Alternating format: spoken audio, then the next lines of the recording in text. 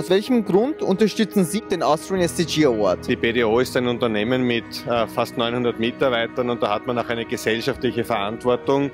Wir widmen uns dem Thema Nachhaltigkeit sehr intensiv und unterstützen daher diesen Award und das tun wir auch sehr gerne. Ich habe mich schon im Studium mit der Fragestellung nachhaltiger Entwicklung auseinandergesetzt, habe damals die ersten Konzepte auch dazu äh, geschrieben.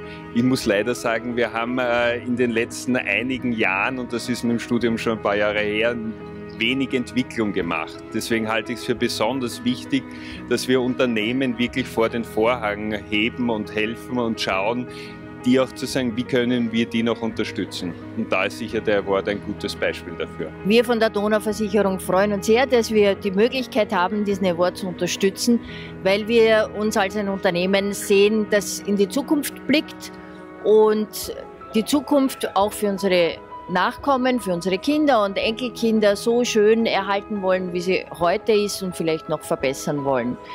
Ich freue mich sehr, dass wir heute hier sein dürfen und äh, ein wenig ein Sponsoring übernehmen durften. Ich glaube, das ist äh, äh, was, was die Wirtschaft stärkt, was auch wirklich ein soziales Engagement darstellt und darum unterstützen wir das als Magenta sehr gerne.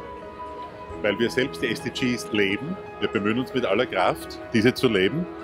Wir sind seit unserer Gründung im Jahr 2002 ein nachhaltig ausgerichtetes Unternehmen und haben als einziges Unternehmen in unserer Branche seit der Gründung einen eigenen Ethikbeirat. Und da haben die SDGs natürlich jetzt immer eine Rolle gespielt.